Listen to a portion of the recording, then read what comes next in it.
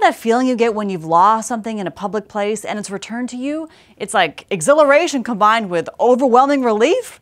Well, one airline is adding another emotion to that experience furry affection. I'm Jen Markham on Buzz 60.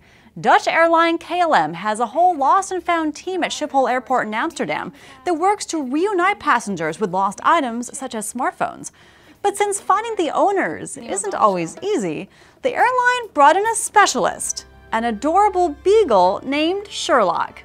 Why not? If a dog's nose can tell when someone has something they shouldn't have in an airport, why can't it also tell when they're missing something?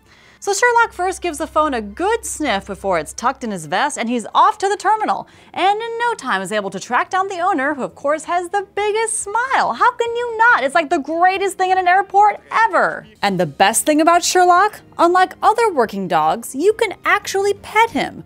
Which makes sense because a dog this cute bringing this much good news to this many people, he's gonna get hugged a lot.